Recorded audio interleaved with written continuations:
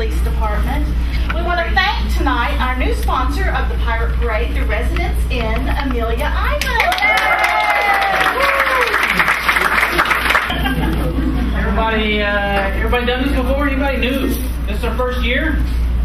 Gosh, we can reduce it and just go on home, can't we? No.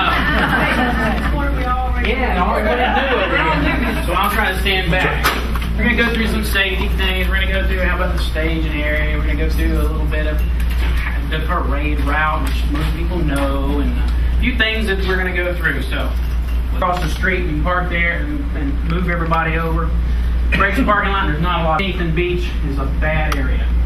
Any accidents, we want to get the kids hurt. Safety. Be alert. Drive slowly in the staging area. That's very important. You know how many years they come by and they're just flying through that staging area. Do not let anyone stand between the trailer and the Okay, questions for me?